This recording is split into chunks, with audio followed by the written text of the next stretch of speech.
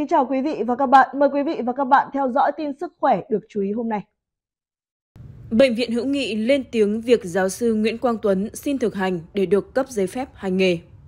Giáo sư tiến sĩ Nguyễn Quang Tuấn, cựu giám đốc bệnh viện Bạch Mai đã có đơn xin thực hành tại bệnh viện Hữu Nghị Hà Nội để được cấp giấy phép hành nghề. Sáng ngày 10 tháng 7, trao đổi với Vietnamnet, lãnh đạo bệnh viện Hữu Nghị Hà Nội cho biết, khi nhận đơn của giáo sư tiến sĩ Nguyễn Quang Tuấn, bệnh viện đã tạo điều kiện để ông thực hành theo đúng quy định. Hiện ông đang thực hành tại các khoa thuộc khối nội. Sau khi kết thúc thời gian thực hành, ông Tuấn có thể làm thủ tục xin cấp giấy phép hành nghề mới. Lãnh đạo bệnh viện Hữu Nghị nói, được biết, ông Tuấn bắt đầu thực hành tại bệnh viện này từ ngày 1 tháng 7. Giáo sư Nguyễn Quang Tuấn sinh năm 1967 ở Hà Nội, là bác sĩ tim mạch nổi tiếng. Tháng 10 năm 2021, khi đang là giám đốc bệnh viện Bạch Mai, ông Tuấn bị khởi tố liên quan vụ nâng giá vật tư y tế gây thiệt hại hơn 53 tỷ đồng xảy ra tại Bệnh viện Tim Hà Nội, nơi ông từng là giám đốc từ năm 2012 đến năm 2020. Tháng 12 năm 2021, ông bị cơ quan điều tra thi hành lệnh bắt tạm giam. Tháng 4 năm 2023, tòa tuyên mức án 3 năm tù với ông Tuấn. Ông bị tước chứng chỉ hành nghề nhưng không bị cấm đảm nhiệm chức vụ hay cấm hành nghề sau khi chấp hành bản án. Một lãnh đạo Cục Quản lý Khám chữa bệnh Bộ Y tế cho biết, có ngay thông tin giáo sư Tuấn xin được thực hành tại Bệnh viện Hữu Nghị là bệnh viện thuộc Bộ Y tế quản lý, tuy nhiên chưa có báo cáo cụ thể. Theo quy định, trường hợp bác sĩ Tuấn đã gián đoạn 24 tháng liên tục không hành nghề khám chữa bệnh nên để được cấp giấy phép hành nghề lại, bác sĩ này phải trải qua thời gian thực hành 12 tháng. Vị lãnh đạo trao đổi với Vietnamnet. Giấy phép hành nghề khám bệnh, chữa bệnh là văn bản do cơ quan có thẩm quyền của Việt Nam cấp cho người có đủ điều kiện hành nghề theo quy định. Theo Nghị định 96-2023 của Chính phủ, quy định chi tiết một số điều của luật khám bệnh, chữa bệnh từ năm 2024, thời gian thực hành khám bệnh, chữa bệnh đối với chức danh bác sĩ là 12 tháng, giảm 6 tháng so với quy định trước đó. Trong đó, thời gian thực hành chuyên môn khám bệnh, chữa bệnh là 9 tháng. Thời gian thực hành chuyên môn khám bệnh, chữa bệnh về hồi sức cấp cứu là 3 tháng. Trong quá trình thực hành phải lồng ghép nội dung hướng dẫn về các quy định pháp luật về khám bệnh, chữa bệnh, quy chế chuyên môn, đạo đức hành nghề, an toàn người bệnh, kỹ năng giao tiếp và ứng xử của người hành nghề khám bệnh, chữa bệnh.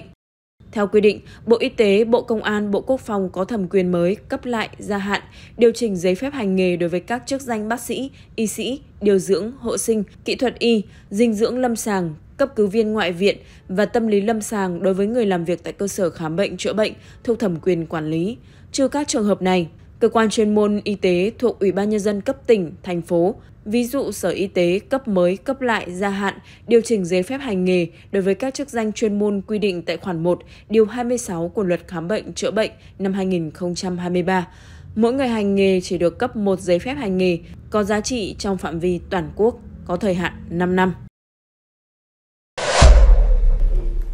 Chiều ngày 10 tháng 7, tại buổi chia sẻ với báo chí về tình hình ghép gan ở bệnh viện Nhi đồng 2 thành phố Hồ Chí Minh, bác sĩ chuyên khoa 2 Phạm Ngọc Thạch, phó giám đốc bệnh viện Nhi đồng 2 thành phố Hồ Chí Minh cho biết, sau khi được Bộ Y tế thẩm định và công nhận là trung tâm ghép tạng trẻ em hồi tháng 4 năm 2024, nơi đây đã tiến hành ghép gan 3 ca, kết quả bước đầu thuận lợi. Trong đó có một trường hợp đặc biệt khi bệnh nhi không phải mắc bệnh lý sơ gan, tiêu đường mật như bình thường mà do hội chứng gây bất thường về mạch máu. Đây là một bé gái 3 tuổi quê Bình Thuận, chẩn đoán hội chứng Buchieri, rối loạn khiến các tĩnh mạch dẫn máu ra khỏi gan bị hẹp hoặc bị tắc do cục máu đông lúc 14 tháng tuổi do bụng bán. Từ khi chào đời, bé xuất huyết tiêu hóa 3 lần, phải truyền máu khối lượng lớn và nhập viện nhiều lần. Qua quá trình kiểm tra, phát hiện bệnh nhi tắc hoàn toàn tĩnh mạch chủ dưới, đoạn dài 3cm, dạng tĩnh mạch thực quản, sơ gan, nhu mô gan thoái hóa và xuất huyết. Bé cũng có tình trạng suy dinh dưỡng, chất lượng cuộc sống suy giảm. Nếu không điều trị triệt để, bé khó thoát khỏi tình trạng tử vong. Từ năm 2022, bệnh nhi được điều trị nội khoa bảo tồn. Đến năm 2024, bé suy gan và sơ gan nặng, có chỉ định ghép gan. Sau khi lên kế hoạch ghép gan kỹ lưỡng, xác định rõ các yếu tố nguy cơ dự phòng sau ghép, ca phẫu thuật ghép gan cho bệnh nhi đã tiến hành ngày 1 tháng 7. Hiện tại, bé đang trong quá trình phục hồi tốt.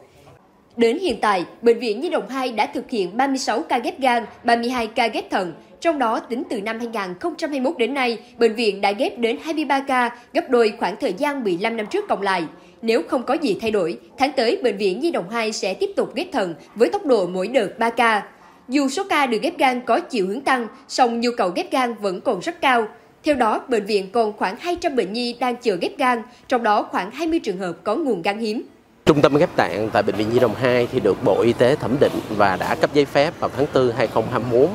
Thì sau uh, trung tâm ghép tạng là được uh, công nhận tại Bệnh viện Nhi Đồng 2 thì chúng tôi có những cái hoạt động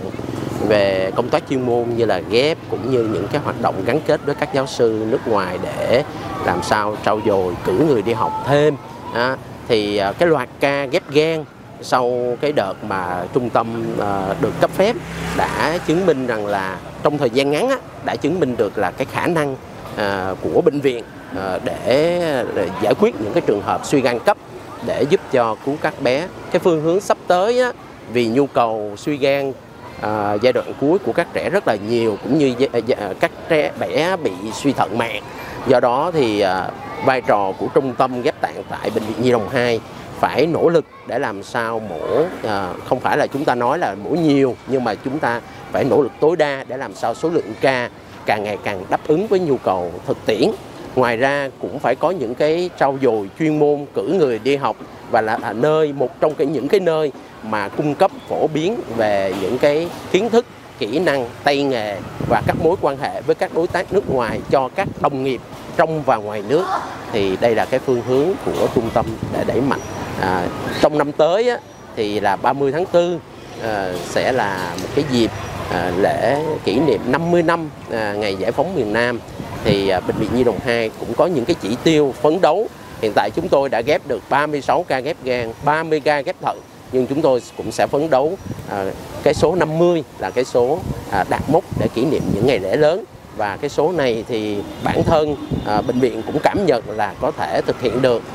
thì đó là những cái hoạt động sắp tới của trung tâm ghép tạng.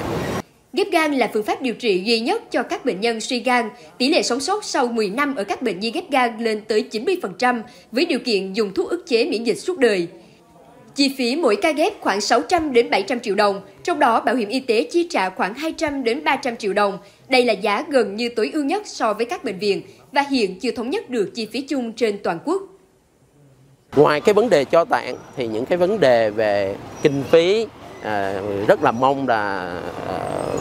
bảo hiểm y tế rồi à, các mạnh thường quân cùng hỗ trợ cùng đồng hành à, để làm sao cho cái vấn đề à, kinh phí trong vấn đề ghép tạng nó là giảm gánh áp lực là cái gánh nặng cho bệnh nhân à, rồi những cái vấn đề ngoài vấn đề đó thì à, tay nghề kỹ năng à, của các bác sĩ ghép tạng à, cũng như là sự phối hợp của các bác sĩ Việt Nam với lại các thầy trên thế giới thật là chặt chẽ để làm sao cùng với cái dòng à, chảy ghép tạng chung của thế giới chúng ta cùng hòa nhịp để đáp ứng cái nhu cầu à, ghép của các trẻ đang bị suy gan suy thận.